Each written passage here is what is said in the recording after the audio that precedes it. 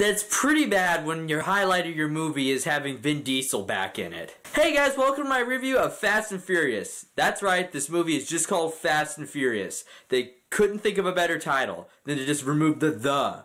It's not the Fast and the Furious, it's just Fast and Furious. That's how uncreative they were, which speaks for this entire lazily put together movie. I don't even know why I'm going to bother going over the plot because it's pretty much the same as all the other movies except for Tokyo Drift. I mean, at least that movie tried to do something different. Paul Walker is an FBI agent now. Like, he made the jump from not being a police officer the last time we seen him to now being an FBI agent. That's pretty big. And guess what? He's got to go undercover to, like, do this bullshit you know, job in like this drug cartel while looking for Vin Diesel and, and Vin Diesel's like in this crew looking for the guy who killed his girlfriend and it's just kind of the same thing, you know, as the other movies. Not very original. Oh, and there's driving in there. Yeah, that too.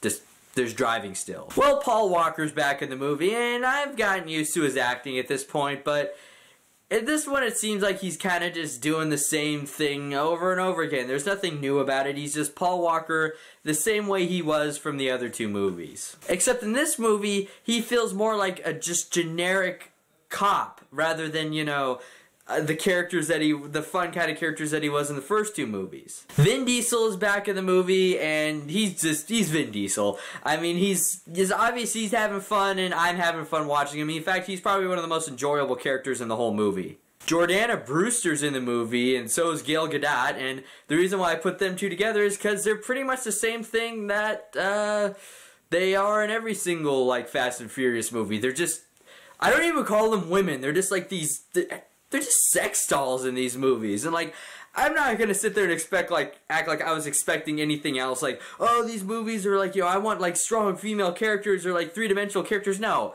they're sex objects in movies that are about cars.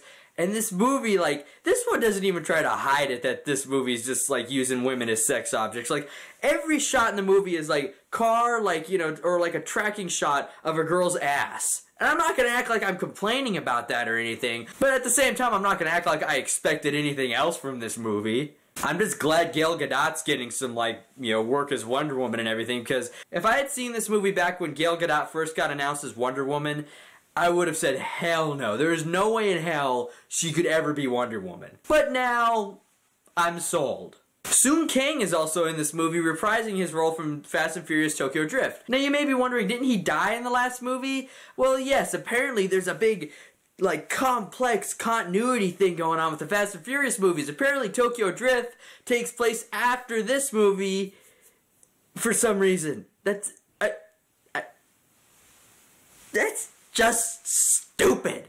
There wasn't even any reason to have him in this movie. He doesn't do shit. I mean, he literally doesn't do anything. And like I said, the biggest problem with this movie is that it's just lazy. It feels like nothing but rehash from the other Fast and Furious movies. They don't even really feel like racing movies anymore. It's more about heist and stuff like that. The racing aspects of this movie feel really forced. It's just it's just a dumb movie, and I did enjoy a lot of parts to it. Like, there are some really good, you know, action scenes that I had a lot of fun with, but other than that, though, I just these movies are just getting kind of they're just rehashed. They're just getting boring, and I don't think that they have the same kind of B movie appeal as the first two. And I feel like they're starting to lose steam at this point. But people still watch them and pay money to see them, and that's why we're now getting Fast and Furious 8. And at this point with the franchise, I'm just looking forward to seeing The Rock. I'm just waiting for The Rock and Jason Statham to come in. So so that's it for me. As always, if you like what you see, go and hit subscribe. You can follow me on Facebook and Twitter. The links are in the description below. Also, be sure to check out my website. The link is also in the description below. Be on the lookout for the rest of my Fast and Furious reviews. And remember, I waste my money so you don't have to. Thanks for watching.